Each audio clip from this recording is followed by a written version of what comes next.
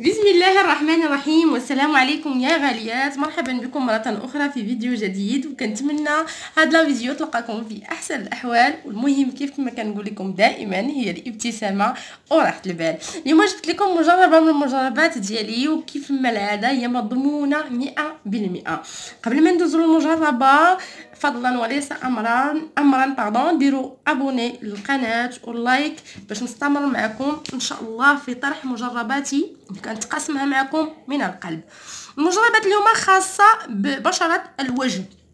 اليوم جبت لكم واحد المقشر ومبيض في آن واحد والنتيجة والله على ما أقول شهيد كتبان من أول استعمال لهاد الوصفة هذه. ندوزو المكونات آه، اللي كتشوفوا معايا هنايا عندنا النخالة. النخالة ديال القمح دقيق القمح. من بعد سيداتي ملي كتقبطي القمح ديالك وكطحنيه كتجيبيه وكتغربليه كتحصلي على هاد النخالة هادي.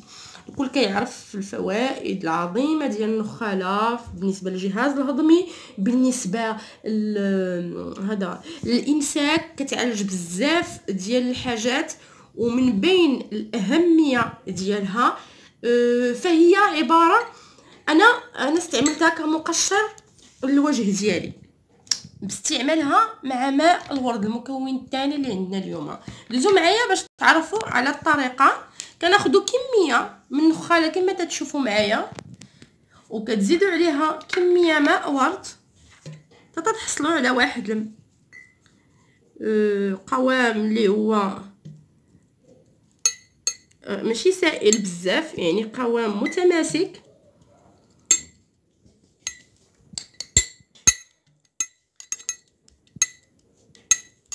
ف voilà الماسك ما كت القناع ما كنخليوهش ما كنديروش sur-le-champ فاش تتفزقيه النخاله بماء الورد كتخليها على جنب ترتاح مده ديال عشر دقائق ومن بعد ما كترتاح النخاله عاد كتعاودي تجيبيها سيداتي وكتبداي تطبقيها كتكون شوية شربات هاد الماء هذا ما كيبقاش عندكم الماء بحال ما هكا كتكون شربات هاك الماء كامل وكتبقاي تطبقيها على الوجه ديالك بالطريقة اللي مرتاحة فيها يا بشي فرشات يا غير بيديك بحال ما هكا.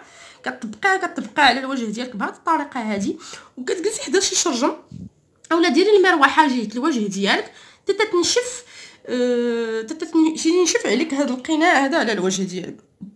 المهم اللي قعدتي واش 20 دقيقة 10 دقائق 15 دقيقة المهم الوقت القناع على الوجه ديالك. من بعد سيداتي ما تينشف القناع على الوجه ديالك كتبقاي تدقومي تدقومي تدقومي تدقومي حتى تيتفرتت شوية بشوية. كتغسلي بالماء الدافئ ثم الماء الفاتر ونشفي وجه ديالك بشي منشفة دائما قطنية. وكما كنصحكم دائما المنشفة تكون قطنية وتكون كل واحد تكون عنده المنشفة الخاصة ديالو بالوجه ديالو باش نحافظوا سيداتي على البشرة ديالنا وعلى على النضاره ديال البشرة ديالنا ونحميوها من الميكروبات ومن البكتيريا. آه، من بعد ما كديري هكذا تستعملي شي كريم انت اللي تستعمليه للوجه ديالك غير للترطيب وتنعيم البشرة ديالك.